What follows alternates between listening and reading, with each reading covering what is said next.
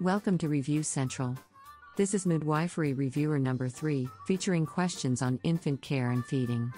Although this reviewer is specifically prepared for the midwifery licensure examination, given by the Professional Regulation Commission of the Philippines, the concepts are universal, and are therefore applicable to similar midwifery licensure exams given in other territories. There are 10 questions featured on this reviewer. All questions are modeled on actual questions that appeared on previous midwifery licensure exams. Let's begin. Question number 1. Which of the following accounts for the greatest percentage of calories in breast milk? A. Protein. B. Fat. C. Carbohydrates. D. Cholesterol.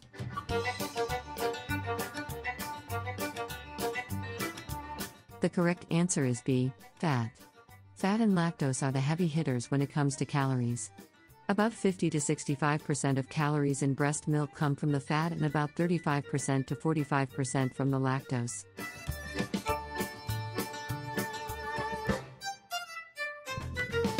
Question number 2. Breastfeeding exert a contraceptive effect as it increases the mother's level of which of the following hormones? A. Estrogen. B. Testosterone. C. Prolactin. D. Progesterone.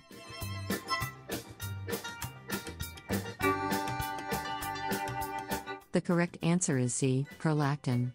Breastfeeding is associated with high levels of prolactin. These high levels of prolactin prevent the ovaries from ovulating or releasing eggs.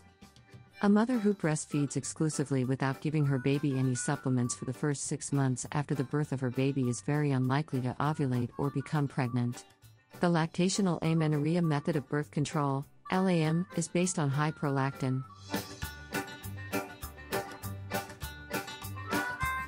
Question number 3. Immediately after birth, the baby is placed on the crib with the head lower than the trunk. This is done in order to A. Prevent vomiting. B. Prevent hiccups. C. Improve baby's respiration. D. Facilitate the drainage of the secretion.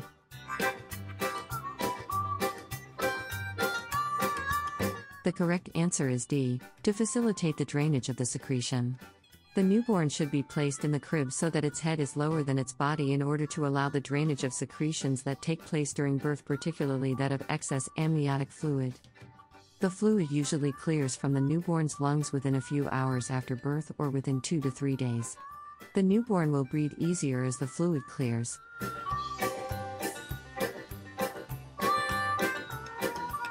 Question number 4. The midwife dries the infant as soon after birth as possible, primarily to help A. Avoid excess heat loss from the infant's body. B. Stimulate the infant's circulating system. C. Remove the white substance on the infant's skin.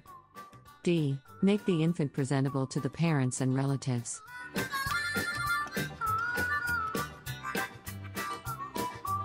The correct answer is A. To help avoid excess heat loss from the infant's body. A newborn baby is wet from the amniotic fluid and can easily become cold. Drying the baby and using warm blankets and heat lamps can prevent heat loss. Often, a knitted hat is placed on the baby's head. Placing the baby skin to skin on the mother's chest or abdomen also helps to keep the baby warm. This early skin to skin contact also reduces crying, improves the interaction between mother and baby, and helps the mother breastfeed successfully.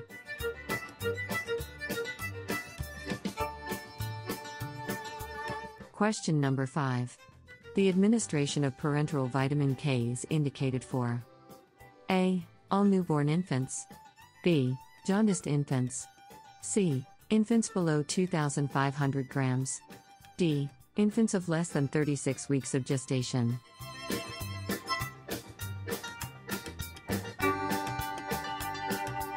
The correct answer is A. The administration of parenteral vitamin K is indicated for all newborn infants. Newborn babies do not have enough vitamin K at birth and are, therefore, at risk of having serious bleeding.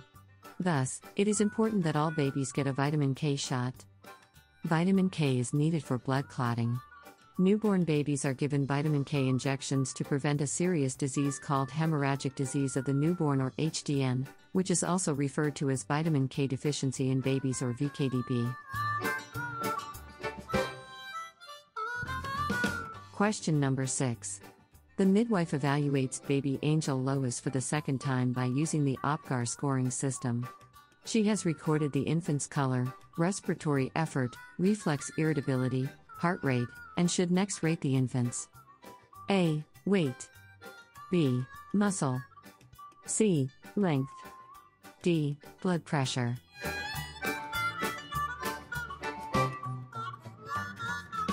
The correct answer is B. Muscle.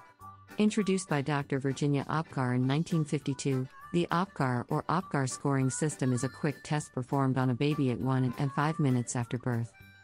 The APGAR test is done by a healthcare provider, either a doctor, a midwife, or a nurse. The provider examines the baby's breathing effort, heart rate, muscle tone, reflexes, and skin color in no particular order.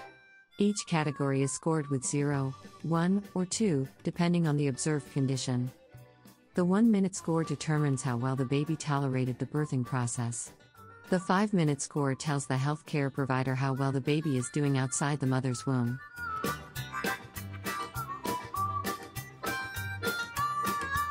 Question number 7. Which of the following measures can prevent colic to newborn? A. Rub the abdomen with Vaporub. B. Put abdominal binder. C. Burp the baby every after feeding. D. Give lukewarm water with honey after each feeding.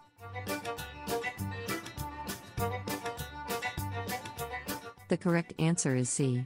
Burp the baby every after feeding. Burping is a key part of a baby's feeding routine. When a baby swallows, air bubbles can become trapped in the stomach and cause discomfort. Excessive gas in a baby's stomach can lead to colic, a frequent, prolonged, and intense crying or fussiness in an otherwise healthy infant.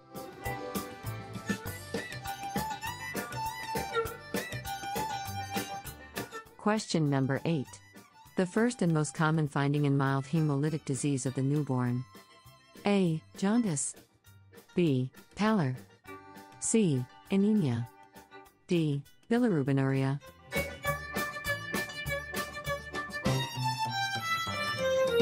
The correct answer is A. Jaundice. Jaundice, or the yellow coloring of a baby's umbilical cord, skin, and the whites of his or her eyes, is the most common symptom of mild hemolytic disease of the newborn or HDN. Other less common symptoms are a pale looking skin or pallor, a big liver and spleen, and severe swelling of the baby's entire body. By the way, bilirubinuria is the presence of bilirubin in the urine, while anemia in newborns is a condition where the baby's body has a lower red blood cell count than normal. Question number 9. The following condition needs daily skin care and treatment, except A. Diaper rush, B. Intertrigo, C. Scabies, D. Milia.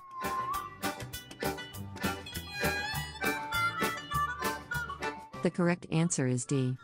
Milia is a skin condition in which multiple tiny white bumps or cysts can be seen on a newborn. It is extremely common, and most babies will develop these keratin containing cysts. Milia is seen in nearly half of newborn babies at birth. Its lesions may be seen on the face, scalp, and upper part of the torso, but there is nothing abnormal about them. In fact, these will usually resolve and disappear spontaneously. Therefore, no treatment is necessary. On the other hand, diaper rush, intertrigo, and scabies are all skin conditions that may cause severe discomfort to a baby, and therefore require daily skin care and treatment.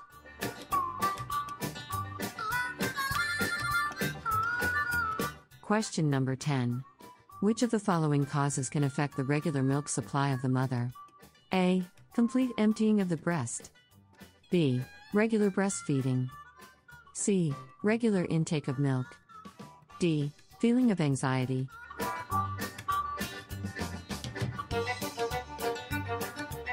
The correct answer is D. Feeling of anxiety. Feeling stressed or anxious is the number one killer of a breastfeeding mother's breast milk supply, especially in the first few weeks after delivery. Between lack of sleep and adjusting to the baby's schedule, rising levels of certain hormones such as cortisol can dramatically reduce a mother's milk supply. You have just completed Midwifery Reviewer number 3, which featured questions on infant care and feeding. If you wish to watch more midwifery reviewers on infant care and feeding, check out our Midwifery Infant Care and Feeding Reviewers playlist. Check out also our other midwifery reviewers playlists for other reviewer topics. If you haven't done so yet, please don't forget to subscribe to Review Central and click or press the bell button to make sure you get notified whenever we post a new reviewer or other review materials on this channel. Please like if you find this video useful and feel free to share to anyone who may also benefit from it. We wish you all the best on your forthcoming midwifery licensure exam.